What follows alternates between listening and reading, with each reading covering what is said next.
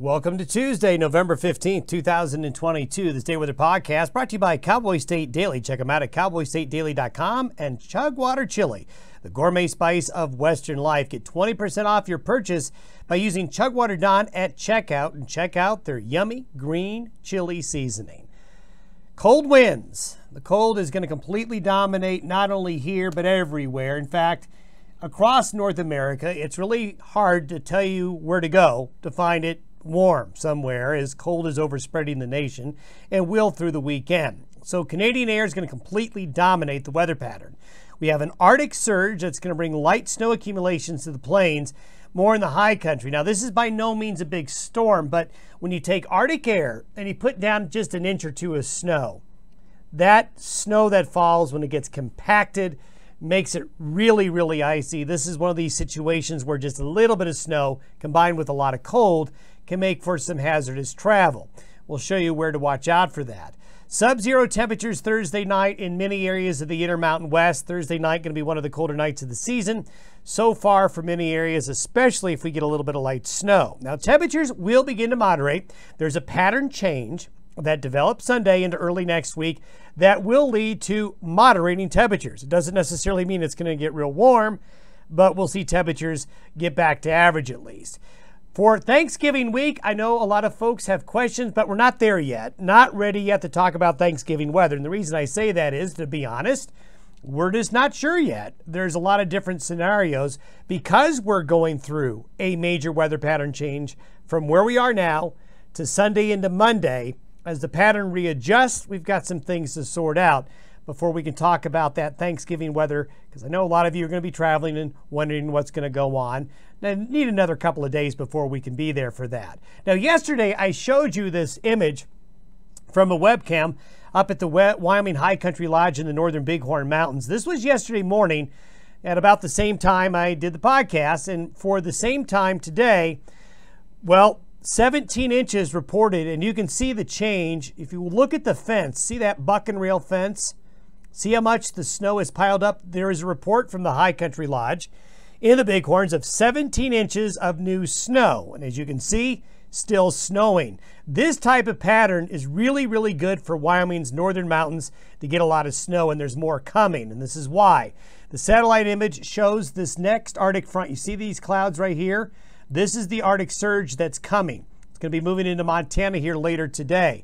We've got a big low up here in the western part of the Gulf of Alaska, which is building a big high here, which is causing the big dip in the jet stream here, opening that door to Canadian air. And there it is. There's that low off the coast.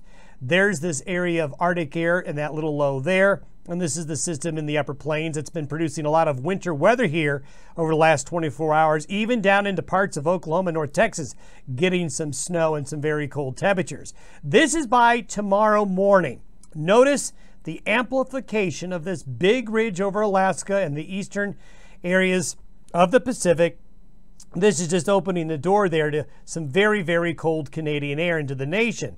And what you have is a pocket of really cold air right there that's kind of where you want to look to see where that really cold air is. And so by tomorrow morning, the cold air is really going to be advancing.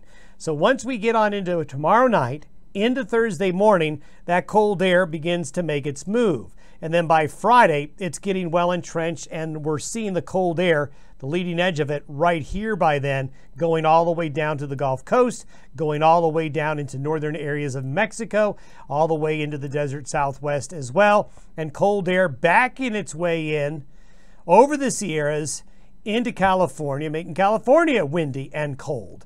As that cold air comes in, it's going to get more entrenched into areas in the central and the east. And look at these temperature anomalies by Friday afternoon.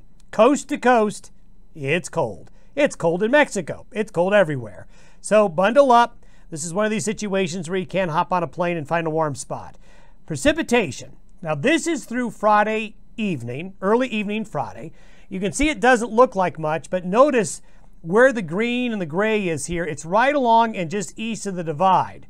This is where you're going to get the northwest flow into the mountains. Northwest flow is very good to make it snow in the central mountains of Colorado and northern uh, southern Wyoming Colorado's north central mountains and Wyoming southern mountains.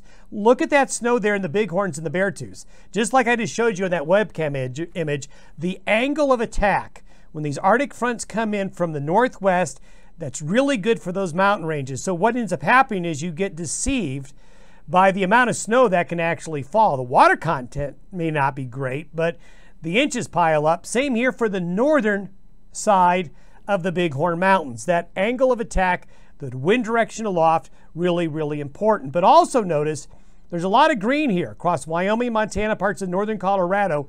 That's going to be just enough snow falling on the plains late tomorrow through Thursday night for small accumulations, like one to three inches worth, enough to make it really, really icy. And there you can see where the snow is going to fall with this Arctic surge coming on in.